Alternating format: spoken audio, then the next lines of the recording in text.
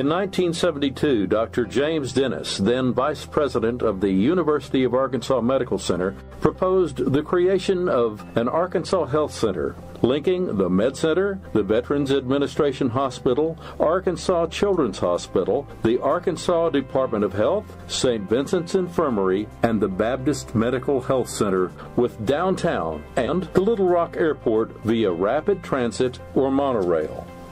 Forty years later, we are taking the first concrete steps in planning the rapid transit connection to realize that vision.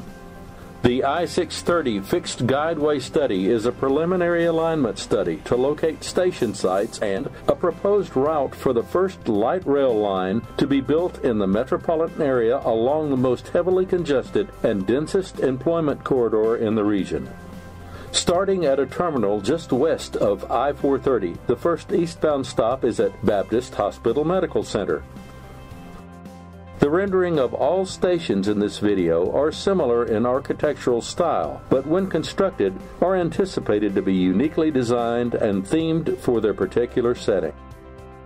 Our train proceeds eastward, ducking underground briefly at John Barrow Road, past a future station that could be constructed just north of Woodland Heights.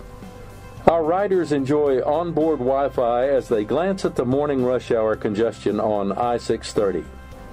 They pass over Rodney Parham Road and then underground again before crossing over I 630 to arrive at the Midtown station.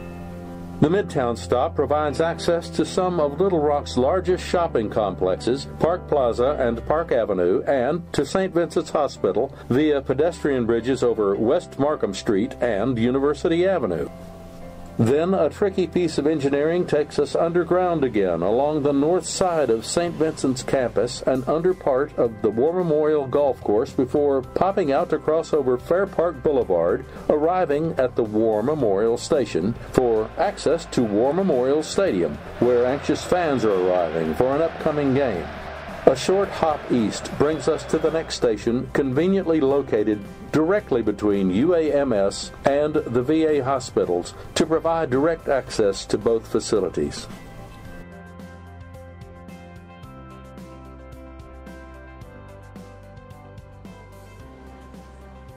Then it's on to the last medical complex along the line, the Arkansas Children's Hospital, and the west side of the state capitol complex. Proceeding under the southeastern edge of the state capitol grounds, we arrive at the Capitol Station, conceived here as a depressed station in the center of Capitol Avenue.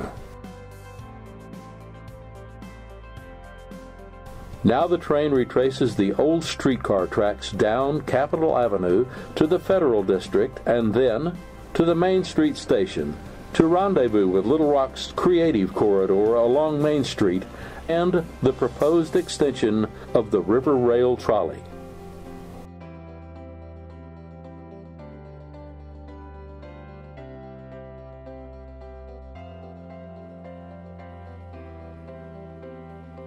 A quick dash eastward brings us to the River Cities Travel Center where one may transfer to a Central Arkansas Transit bus for more local transit options or for a short walk to the River Market District.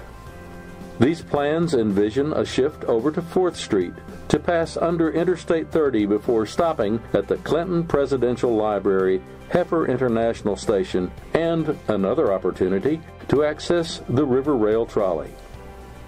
From there, we move down Bond Street, where another future station could be built as redevelopment in the area demands it.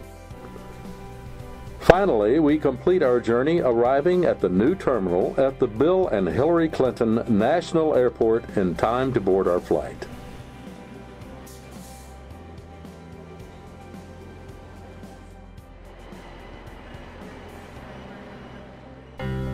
As we mentioned at the beginning, this is a preliminary alignment study. Its sole purpose was to identify a preferred fixed guideway alignment that could inform both private and public institutions along the I 630 corridor for the protection of right of way for the deployment of light rail or bus rapid transit in the not so distant future. We very much would like to hear your opinions. Please contact us at metroplan.org with your comments.